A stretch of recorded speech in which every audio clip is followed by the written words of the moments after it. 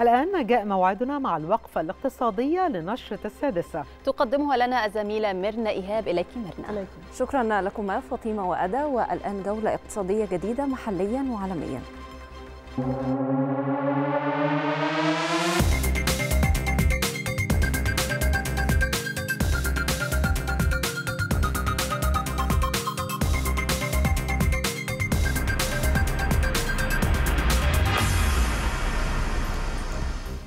نفى المركز الإعلامي لمجلس الوزراء شائعة وقف البطاقات التموينية التي لم يتلقى أصحابها رسالة صرف المقررات التموينية للشهر الجاري.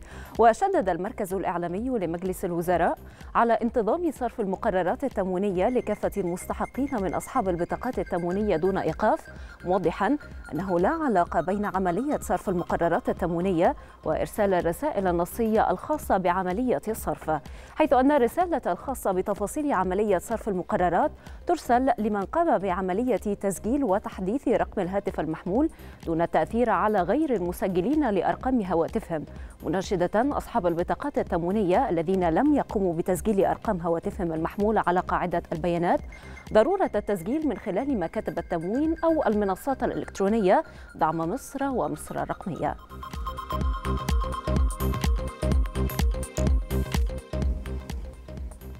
أعلن رئيس المنطقة الاقتصادية لقناة السويس وليد جمال الدين أن مخطط الأعمال لتطوير ميناء العريش سينتهي خلال الربع الأول من عام 2024 وأضاف رئيس المنطقة الاقتصادية لقناة السويس أن أعمال التطوير أسفرت عن تقدم العديد من الشركات ومن بينها شركة شركة تنفذ مشروع إنشاء ست صوامع لتخزين الأسمنت السيناوي الأسود والأبيض بطاقة تخزينية تقدر ب 75 ألف طن وبإجمالي تكلفة استثمارية تصل إلى 830 مليون جنيه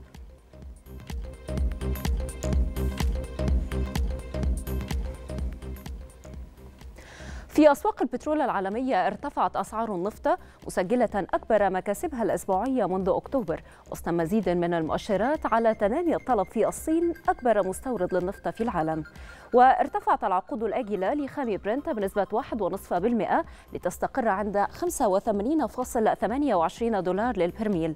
وارتفعت العقود الآجلة لخام غرب تكساس الوسيط الأمريكي إلى 79.86 دولارا للبرميل بزيادة بلغت 1.9 من 10% كما ارتفعت أسعار المازوت عالميا بنسبة 1.47 من 100% لتصل إلى 3.26 دولارات للتر وفي المقابل تراجعت أسعار الغاز الطبيعي بنسبة 7.47 من 100% لتسجل 3.42 دولارات لكل مليون وحدة حرارية بريطانية.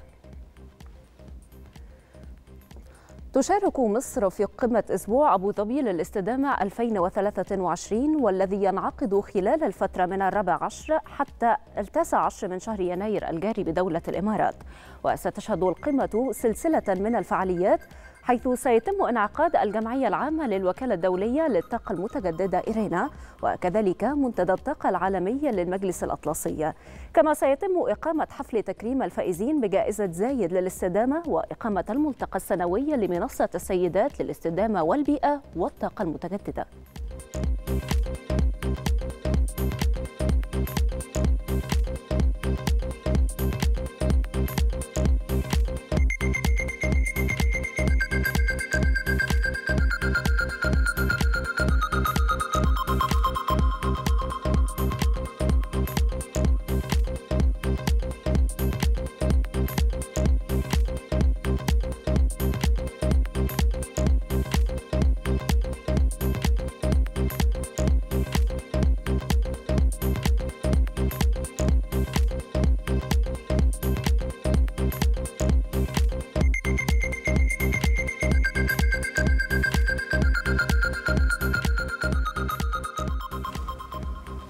قال الرئيس المعين لرئاسة مؤتمر الأمم المتحدة للمناخ كوب 28 سلطان الجابر إن الإمارات تريد أن يركز المؤتمر الذي تستضيفه هذا العام على النتائج العملية واحتواء الجميع مشيرا إلى استثمار بلاده 50 مليار دولار في مشروعات الطاقة المتجددة حول العالم.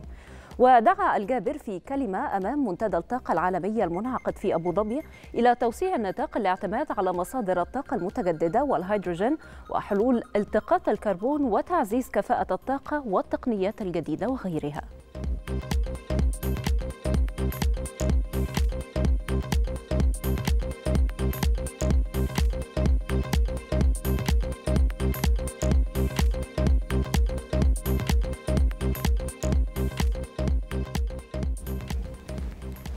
انتهت جولتنا الاقتصادية والعودة إليكم مرة أخرى أدوى فاطمة. شكرا منا إيهاب على هذه الوقفة الاقتصادية.